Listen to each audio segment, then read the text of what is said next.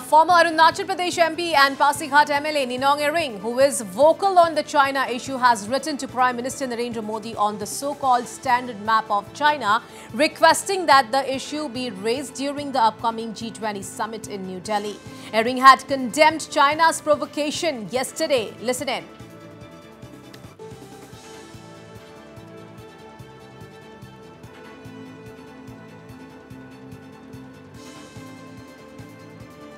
All right, so former Arunachal MP and Pasighat MLA Ninong Ering, who is vocal on the China issue, has uh, written to Prime Minister Narendra Modi on the so-called standard map of China, requesting that the issue be raised during the upcoming G20 summit in New Delhi. Well, uh, Ering had condemned China's provocation yesterday.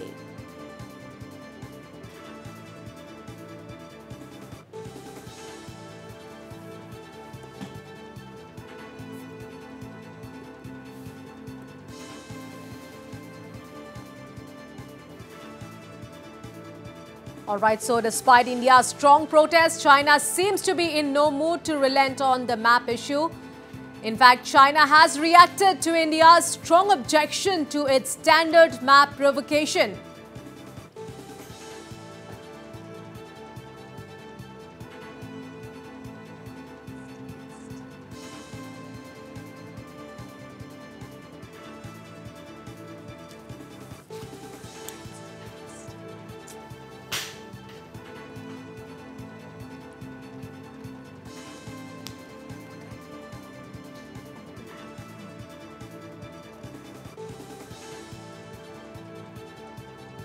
All right, to more, we are being joined over phone line with former Arunachal Pradesh MP and uh, Pasighat MLA, uh, Mr. Ninong Ering. So, uh, Mr. Ering, welcome to Northeast Live. So, you have written to uh, Prime Minister Narendra Modi on the so-called standard map of China, requesting that the issue be raised during the upcoming G20 summit in New Delhi. Mr. Ering.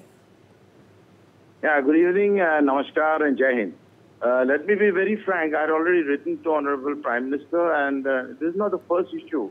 In the last two issues, also, I had written uh, that uh, China is just trying to be very provocative, and especially just before the G20 summit, uh, you know, such issues should not come up. If it comes up, then you know the whole the, uh, the sentiments and the emotions of the people of Arunachal Pradesh are touched. See, now when we have even even now the issue of staple visas are not yet it is not uh, written, you know, it is not yet been, uh, you know, compromised.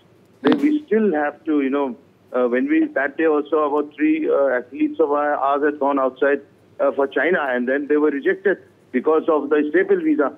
Now, this is what I've already written to Honorable Prime Minister that uh, it is not a question of uh, BJP or Congress, NDA or UPA, but the question is that, the, you know, the हमारा जो अस्तित्व है the recognition of the uh, Arunachal Pradesh people as Indians. That comes foremost.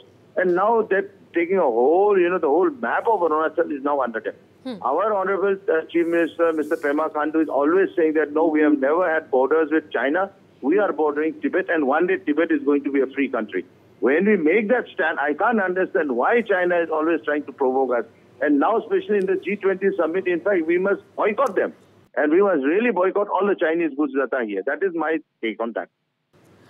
Right. Well, uh, Mr. Ering, despite India's strong protests, uh, China remains defiant and has said that it's a sovereign right to publish the standard map and that uh, no one should over-interpret the issue.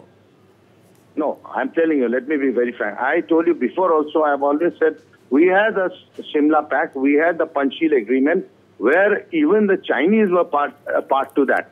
They were party to that. So I uh, want only to clarify that when, you know, the Chinese had agreed to us in the uh, early 50s, that time, why was it that in the similar agreement, why is it that now they are, you know, going against their own words? Like, just like Mr. Chou En-lai and Jawaharlal Nehru, when they had said that Hindi Chini bhai-bhai, and we had made that agree, and suddenly they start attacking us.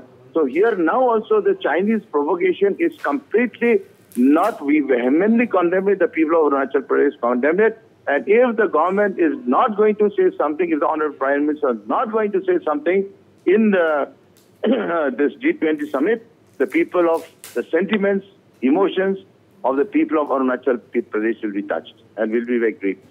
Thank All you. right. Uh, thank you so much for speaking to Northeast Live. Thank you.